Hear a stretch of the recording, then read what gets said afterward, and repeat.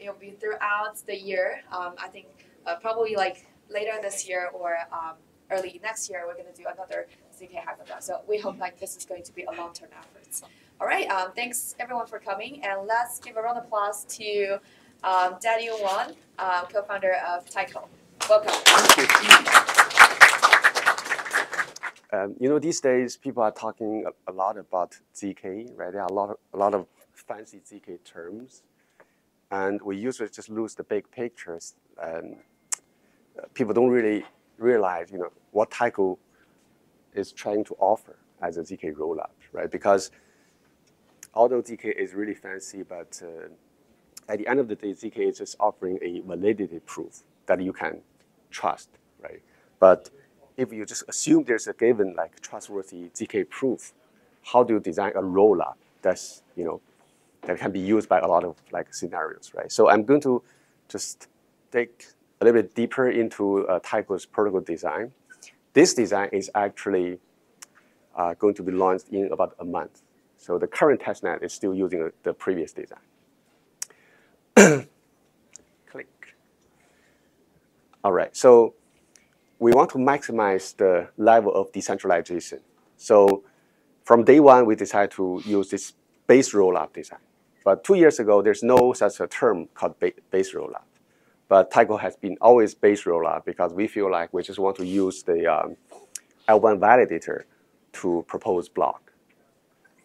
Um, so people sometimes ask me, you know, when are you going to decentralize your sequencers, right? We don't have these uh, sequencers to decentralize because there's no special node. You know, it's always the uh, Ethereum validator who will decide the, the sequencing of transactions and the blocks uh, of, of Taiko. So there's no special nodes, there's no consensus algorithms that we need to introduce, nothing. So that also means going forward is if there's better like a, a protocol enforced like proposer commitments, uh, PEPC, uh, or even nowadays we can work with like EigenLayer to use restaking to incentivize L1, L1 validator to help you know, build Taiko blocks. All right, so we deploy a set of protocol smart contracts on Ethereum. And these, pro these protocols, uh, sorry, these smart contracts manage a, a ring buffer. So you see as a, as a queue, but it's actually a ring buffer that we can like reuse, right? Every time you write something to Ethereum, it's expensive. So by using the, by reusing the slots, you will reduce the gas a lot. So when we propose a block, I think it's only like a 30,000 K like gas per block. So it's really inexpensive. So uh, so let's say, um, click, uh, so let's say you have uh, three blocks proposed. They will be put into this queue one by one, one after another. Um, click. And then in the one natural question is like, if we don't have a, a consensus algorithm, right? What if these three blocks are proposed by three different proposers uh, without, you know, uh, knowing each other and uh, those blocks may contain the same transactions, right? That's the natural question to ask, okay. So it may, what may happen is like this. You know, you imagine you being the first proposer of block A, you imagine your block A is the first one, but it ends up with the, as a, as a third one, right? So that's, that could happen.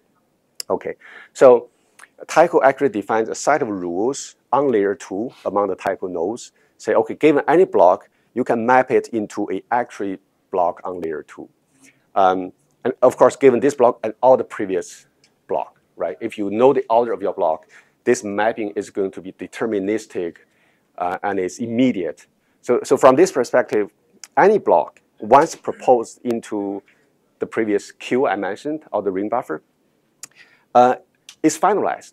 All the transactions here will be even deemed as invalid or valid, but this, this like consensus is reached by all the nodes. So once proposed, the user will know, you know, this transaction is not revertible, it's, it's done, right? although the, the zero knowledge proof part is not done yet. Okay. So the worst case scenario, of course, is like all the transactions in this proposed block is invalid because somehow it's got all, all of those transactions are included in the previous transaction proposed by another like validator, right? So in that case, it, there's empty block. But what I'm trying to say is for every proposed block, you can always derive a valid Taiko block on layer two. Okay.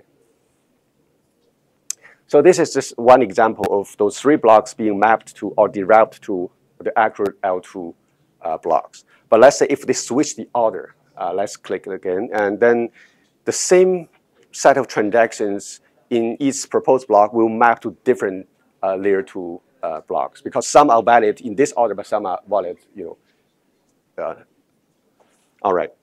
So now we have uh, this called a sovereign rollup, right? If this is a fancy term, but actually not a lot of people are talking about this. So what, it, what the sovereign rollup is, um, you, you have consensus on the, among the layer two nodes about, you know, uh, the state of, the, of this layer two after each block, right? So you know that. So basically, it, you have a functional uh, layer two as a blockchain, right? Because everybody, all the nodes know what's going on, right? So that's a blockchain, right? Consensus. However, it's really hard to convince L1 to say uh, what's the current state. Um, so the L1 smart contracts doesn't know anything about L2 uh, state, block state, except the first one. The first one is like hard-coded into the protocol, right? So uh, with sovereign rollup, you cannot do like cross-chain um, communication or app easily. You can still do that. Like uh, uh, the project we are working with uh, with the campaign, what's the name? Uh, Hyper. The, the, the, G, the ZK enabled uh, cross-chain bridge. ZK bridge. Like ZK, poly, poly, polyhedra. Like poly, if you de deploy polyhedra here and also on Ethereum, you can achieve this interchain communication, right? But not so easy. It's still quite expensive. All right. So our goal is to make sure, you know, communication uh, operation is easy, right? So that's why we need zero knowledge proof.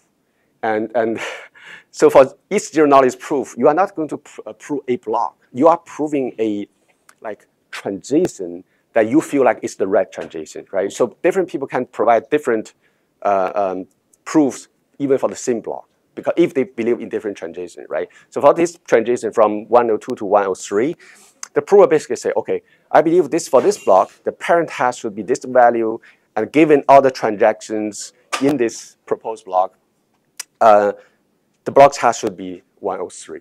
So this is like a, like assertion backed by zero knowledge proof. All right. So here I want to show that you can approvers can prove block three first, right? These two provers they believe in different transitions, so they you know place two like different proofs there both are valid, okay? Um, because they both have the same, uh, uh, sorry, different assumptions, all right? So now you can prove block two, and then now I can prove block, uh, uh block one and, sorry, um, block one, right? So once this first block is proven, you notice that, you know, this is the genesis block, right? And then you have this this proof, this transition, claiming the parent is 100, which is the same one as this one. So now you can connect the dots, right? And this one is deemed trustworthy, or we, we call it uh, verified. So now you can see the, set, the first block is also verified. So this, this block hash is considered to be like uh, verified or, or finalized, the, the, real finalized. You cannot, the smart contract on layer one can trust this value, right? So you can use this value to do like bridging. All right. So if you keep going, uh, you know, all these three blocks will be finalized one after another. Uh, sorry, click. Uh, one more. Okay. And these two efforts are wasted because they're not connected from the parent. So they are still like valid in terms of if their if their assumption is valid, these zero knowledge proof are valid, right? But it doesn't mean it's the right one to use. Um, all right. So um, we have been working on different approaches to uh, prove block. So I'm going to talk about a little bit how, how you can secure someone to prove your block if you propose those blocks. Um, so with the current version, uh, oh, sorry, with the next testnet, this is what's going to happen. So you propose, before you propose block, you have to talk to a lot of um, potential provers, say, okay, this is the block I'm, I'm going to propose how much do you want from me as a proving fee, right? You collect all the quotes from as many potential provers as possible. Just like, it's very like the, uh, the approach, right? And you select the best one based on your own criteria. Maybe you have a business agreement with a, a pool of ZK provers, or you just use the, the most inexpensive one, right? So once you get that, um, then um, the the counterparty just sign a uh, like a small contract, like assigned. We call it uh, prover assignment. So this is verifiable on chain, and then you use that assignment to propose this block. Uh, so this assignment, or you can see it as a social contract between the prover and proposer, basically just say this. Um, you need help? You need help? No? Okay. So basically it says, okay, the proposer pays some ETH, or actually any tokens, even NFTs. But in this example, I just say like 0.1 ETH. So uh, let's say I'm the proposer, and, and Miko, uh, my co-worker, is the prover. I'm going to pay Miko like 0.1 ETH as a proving fee immediately. And Miko deposit a lot of tokens, say, okay, I promise you, I will pro, uh, prove your block within a certain like, like time window, right?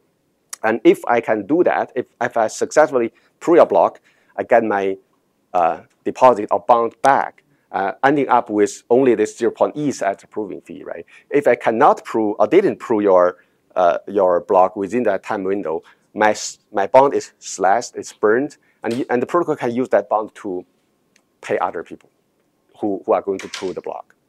Okay. Um, so one question to ask is, you know, what if Miko didn't you know, he did fail to prove my block. You know, this block is going to remain unproven forever, or what's going to happen, right? So if um, the assigned prover, um, next, failed to prove the block within the time window, then the block is deemed open. Being open means that anyone can prove the block without like a bond, right? And this, this turns into a, like a, a competition of speed. You know, whoever is the fast prover will win the block, right? But previous, before the block is open, it's like one effort only uh, dedicated to proving one single block. No wasting of resources proving the same block. So because we want to minimize the cost per transaction on layer two, so we feel like you know, POW is not the right way to go. All right.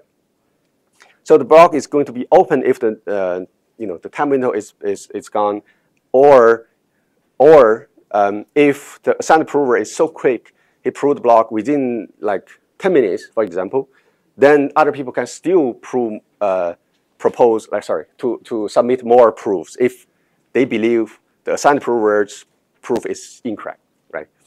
Okay. So now this is the tokenomics. So you, you as the proposer, you receive transaction fee from layer two, right, in ETH all the all the transaction fees are in ETH in, in. And then you pay uh, ETH to the prover or any other tokens, or even no tokens, no payment on chain. You can do like off-chain payment. That's also okay. And then we realized initially uh, the L2 transaction fees won't be good enough to cover the fee, uh, the proving fee, which is probably like ten dollars, five dollars, who knows, right? Uh, and you probably make like one dollar here. So we will mint additional Taiko token as the block reward and gradually reduce this to zero later. And the prover deposit uh, the bond and once successfully approved the block, return the bond, ending up with uh, ETH as the as the fee. All right. And uh, as I said, um, if uh, he failed to prove the block, then the bond is going to be burned partially and, and partially given to these open provers or backup provers. And, and multiple of those are working on the same task. One of them is the winner, right? The other will waste the resource. But eventually, they collectively, they get more, more than this uh, uh, assigned prover uh, if the block is open. Okay, so this is the most important part. We have talked to a lot of potential uh, um, developers, and they say, okay, ZKP seems cool. If I really need to prepare like 100 machines to secure my blockchain. I don't want to do that because my chain is just app chain, you know, for game. I don't think ZKP for every block is really necessary. How about you don't require ZKP for every block, and then later, if the game is become so big, so profit profitable, then you, you know, allow me to secure my asset, right? so that's the idea. Excuse me. So um, so this is like the original design. You, you trust in math, you, you always require zero knowledge proof. And now we say, okay, what's, what if we take uh, extreme? Like, let's reconsider the optimistic rollup approach, right? You change this um, ZK pro, uh, proof into like optimistic proof, which is no proof, right?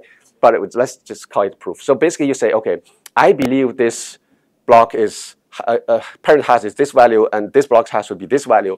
I don't prove it, but I deposit a, a really large value of, of token, then I'm ready to be challenged, right? So, um, so this is basically the, the block, like the transition assertion uh, with, with bound. Um, so if, if there's no challenge at all within like, for example, 30, uh, 60 minutes, right? We think this, this transition can be used to, find, to verify the block, right?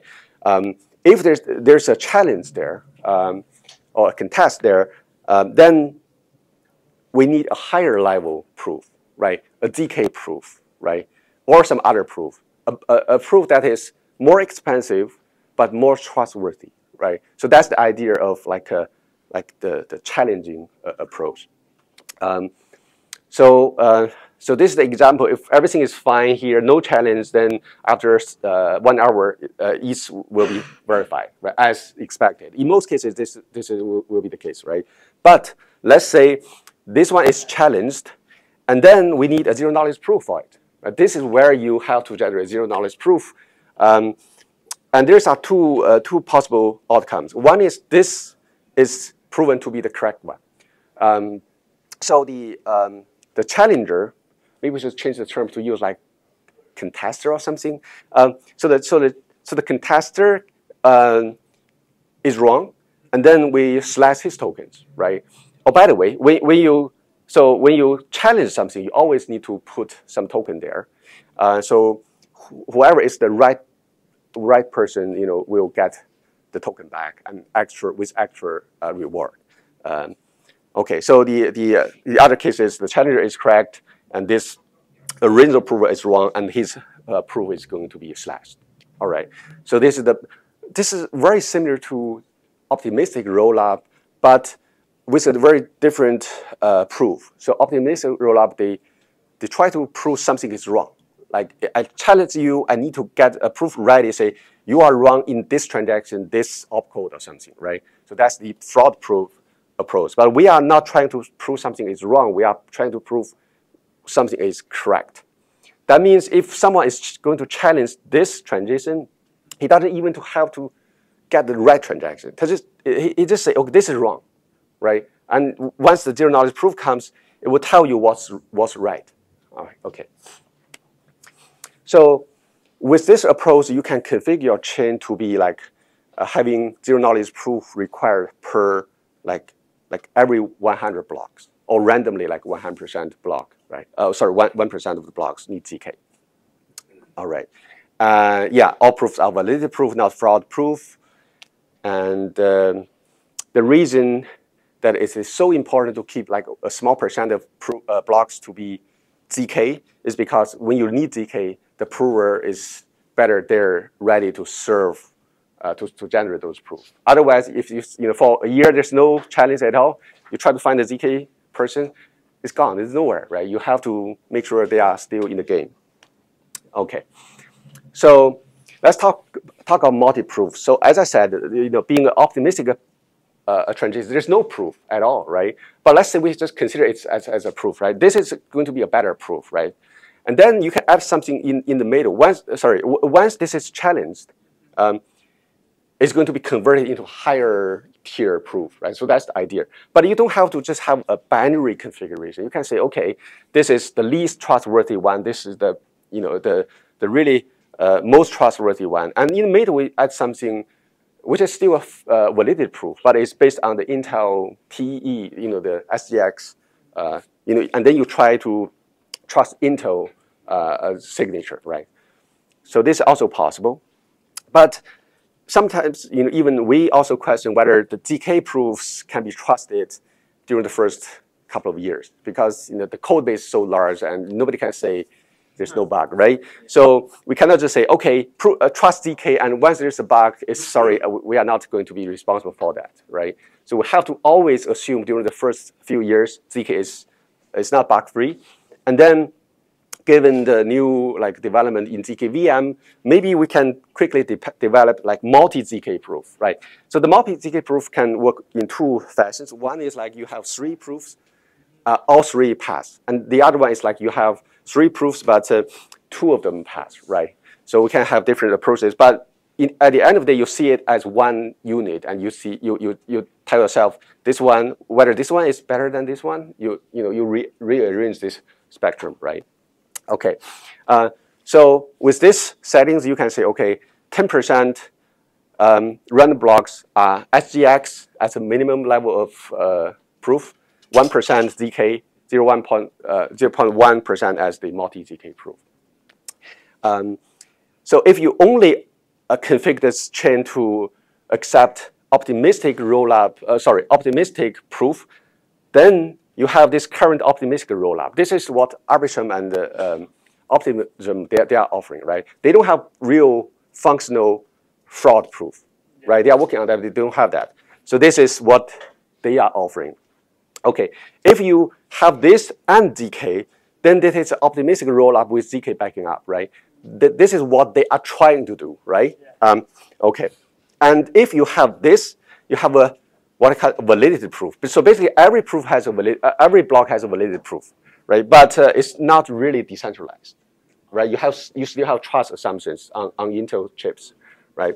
But this is better, right? And if you just create, configure this one, this is the classic, like our current testnet is using this approach, right? And uh, for Taiko, we are going to, our mainnet launch, we are going to focus on this part of the spectrum. So with ZK and hopefully multiple ZKs, right? So this is good. Um, okay. Um, so for gaming uh, you know, apps, game app chains, so you probably start with the low end and you gradually change it, right? Okay. And there's you can always say, you know, even multi-ZK may still have bugs, right? So if that's the case, you introduce like a multi-sig guardians who are controlled by a DAO or that by multi-parties as the last resort, right? This is, of course, not looking good from a technical perspective. You can say, okay, you are still centralized, but I think it's better than losing a lot of money and tell your user, sorry, there's nothing we can do. You have to trust in math who has bugs, right? Okay. All right. So you have multiple options. So, so um, we have launched four Taiko testnets. Uh, two of them are still uh, in running, up and running. Um, so uh, this is um, L2. This is L2 on L2. So it, it makes L3, right? Same code base redeployable on top of each other. Previously, we tried to market this as the inception layer.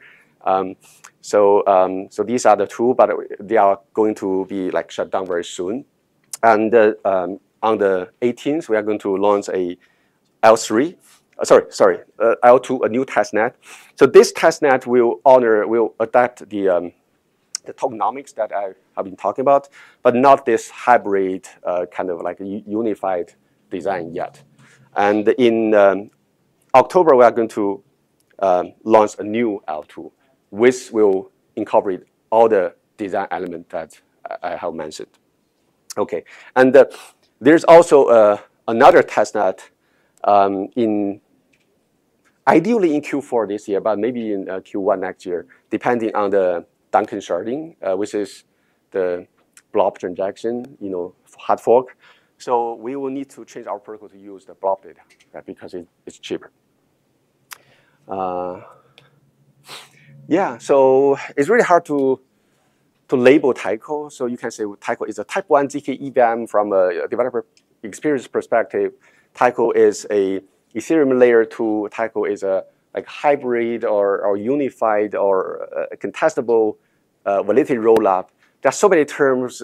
It's kind of hard for me to market our our product. You know, it's it's it's cool. Too many terms. Yeah. So um, but I think uh, I want to deliver this message to app developers. You know, using Taiko is highly uh, flexible. It's configurable. Uh, not only before you launch the network, it's afterwards. You know, you can always dynamically change the configuration to, um, you know, to, you can always start with an optimistic approach and then end up with a pure 100% ZK rollup approach. So it's, it's your call whether you want to use certain components there, right? And for us, even the Taiko token is optum, uh, optional. You can use, for example, if you use like an eigenlayer or um, like, like PEPC in the future to enable L1 validator to propose something, you can use your own token. You, you can use staked Ether uh, to promote, right, to, to incentivize um, uh, proposers. Um, I guess that's a lot, but um, yeah, thank you. Thank you so much.